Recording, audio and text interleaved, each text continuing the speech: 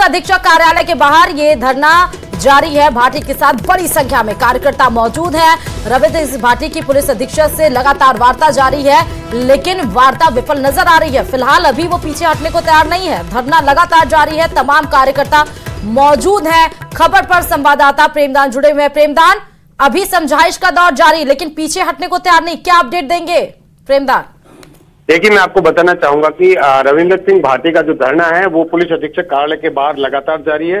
Police अधीक्षक के साथ में उनकी वार्ता का दौर है, वो दूसरे दौर की वार्ता शुरू हो चुकी है। रविंद्र सिंह भाटी का सीधा सीधा आरोप है कि कल जो मतदान के दौरान हमने जो सूची दी थी, उसके ऊपर पुलिस ने जुलमुल रवैया अपनाया। कई जगह अति संवेदनशील जगह थी, जहाँ पर बूथ कैप्चरिंग हुई। हमने वहाँ पर भी कहा इनके कार्यकर्ताओं के साथ में मारपीट हुई उसमें पुलिस को जब सूचना दी गई उस पर कार्रवाई नहीं की हम्म। उसके साथ ही साथ इनके कार्यकर्ताओं के खिलाफ कार्रवाई करते हुए उनको डिटेन किया इनके वाहनों को जब्त किया इनकी जो हम्म। द्वारा रिपोर्ट दी गई थी उसके ऊपर पुलिस ने कार्रवाई नहीं की तो इसी सब मामलों को लेकर के भाटी का यह प्रदर्शन चल रहा है और भाटी की साफ़ तौर से कहना है कि अगर मेरी ये कार्रवाई या इससे कोई बात सहमति नहीं बनी तो आईजी कार्यालय का घेराव करने के लिए बालोतरा से जोधपुर के लिए रवाना हो गए हालाँकि उनके साथ में वार्ता का जो दौर है वो लगातार जारी है। पुलिस अधीक्षक कार्यालय में हालाँकि अभी रविंद्र सिंह भाटी बाहर निकले थे मीडिया से बातचीत भी उन्होंने करी थी।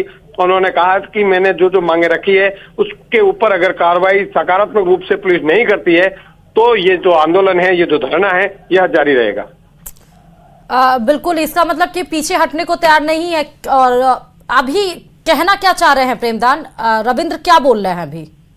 उनका ये कहना है कि जो जो मैंने एप्लीकेशन दी है उस मामलों में कार्रवाई हो जो आरोपी है कल कुछ कार्यकर्ताओं के साथ में मारपीट हाँ, हुई हाँ, कुछ गाड़ियाँ तोड़ी गई थी हम्म। उनके खिलाफ कार्रवाई हो उनके खिलाफ मुकदमे दर्ज करके उन, उनकी गिरफ्तारियाँ हो जबकि इनका आरोप सीधा सीधा है कि पुलिस ने इसमें ढुलमुली रवैया अपनाया है और उसमें किसी एक पक्ष को सपोर्ट करने के नियत से जो रविंद्र सिंह भाटी के जो कार्यकर्ता थे कई बूथ पे एजेंट थे उनके साथ बदसलूक हुई मारपीट हुई ऐसी सूची दी गई थी ऐसी रिपोर्टें हाँ, दी गई हाँ। थी उसके ऊपर किसी तरीके का फ़ोन नहीं कल कुछ कार्यकर्ताओं के साथ मारपीट हुई उस समय जब सीओ और एसएचओ को उन सब के ऊपर कार्रवाई हो। बहुत बहुत शुक्रिया प्रेमदान क्योंकि आपको बता दें कि कल एक्स हैंडल पर भी लिखा रविंद्र सिंह भाटी ने कि बायतू विधानसभा के अंदर मेरे एजेंटों को बूथों से बाहर निकाला जा रहा है और वोटिंग मशीन पर मेरे नाम पर पट्टी लगाई जा रही है। ये कैसा लोकतंत्र है? और उसी को लेकर कल जो मसला हुआ उसी को लेकर आज धरने पर बड़ी संख्या में तस्वीरों में दिख रहा है। बालोतरा से ये खबर आपको दिखा रहे हैं।